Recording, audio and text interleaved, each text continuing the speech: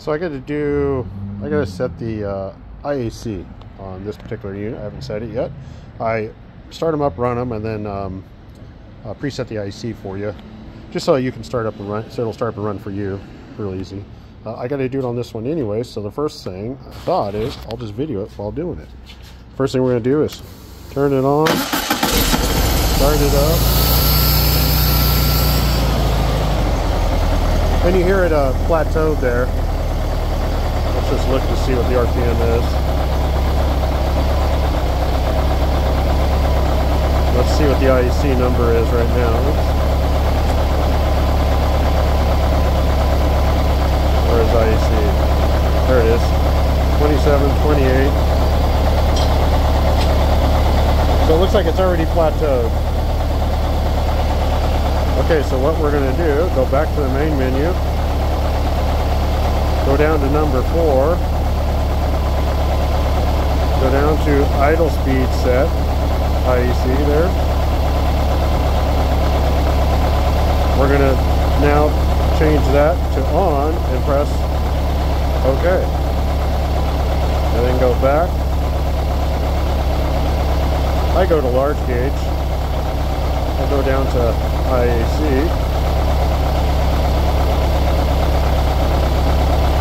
There's our number. We want that between 3 and 7. I'm going to grab Phillips screwdriver. Now here's the thing.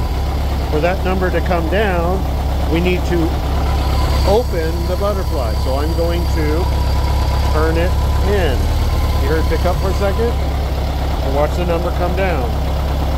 I'm going to turn it in again. It picked up for a second. The number comes down. See it? I'm turning it in.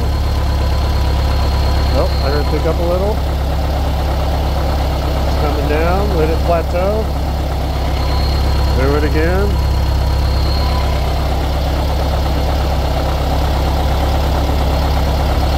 Doesn't seem to be recognizing now. Let's keep going. go. Getting close.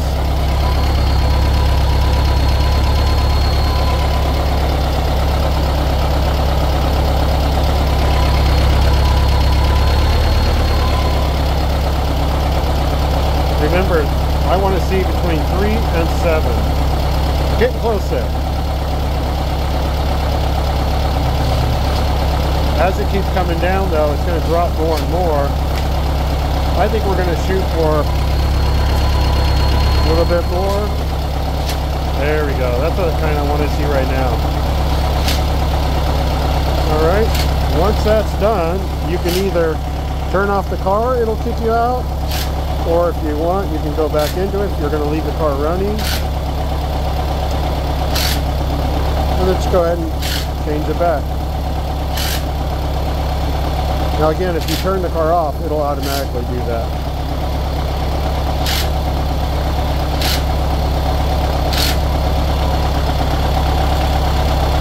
There you go. You'll notice it smooths out the idle, smooths out the AFR.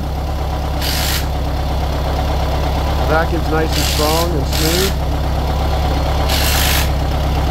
Alright, that's set in the IAC.